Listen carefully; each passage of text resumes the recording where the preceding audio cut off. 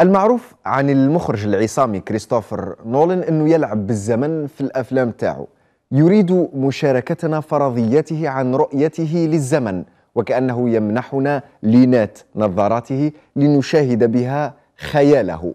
وهذه الذروة تاع إبداع المخرجين. في فيلم مومنتو اللي خرج عام 2000 تاع كريستوفر نولان نلاحظوا إنه البطل اللي فقد ذاكرته يعيش في الأحداث التي تسير في خطين زمنيين متعاكسين واحد للأمام والآخر للخلف. بينما البطل مصاب بفقدان ذاكرة يمنع من أنه يتذكر الأحداث وبهذا راح يعيش حياته في فقرات زمنية منفصلة. وفي كل مرة لازم عليه يتذكر الوضعية اللي راهو عايشها والغاية تاعو وراهو حاب يروح من خلال وشوم دارها في جسمه من خلال الصور تاعو.